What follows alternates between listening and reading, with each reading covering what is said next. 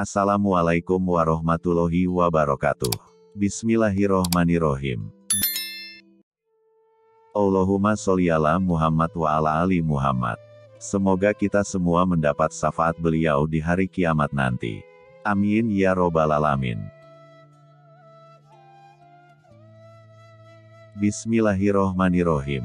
Alhamdulillahirobbil alamin. Allahumma sholli ala Muhammad wa ala ali Muhammad. Yang benar datangnya dari Allah. Yang salah datangnya dari saya yang mengupload.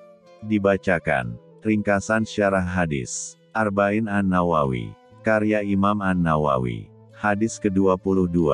Melaksanakan syariat Islam dengan sebenarnya. Dari Abu Abdillah Jabir bin Abdullah Al-Ansori radhiyallahu anhu bahwa seorang laki-laki bertanya kepada Rasulullah Shallallahu Alaihi Wasallam, apa pendapatmu bila aku telah sholat lima waktu, berpuasa Ramadan, aku menghalalkan yang halal, dan mengharamkan yang haram, dan aku tidak menambah amalan selain itu, apakah aku akan masuk surga? Nabi menjawab, ya, hadis riwayat muslim. Catatan, seseorang yang bertanya dalam riwayat di atas adalah, An-Nu'man bin Kokal.